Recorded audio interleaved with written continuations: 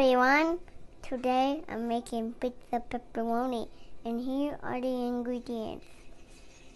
For the dough, wa- water, yeast, oil,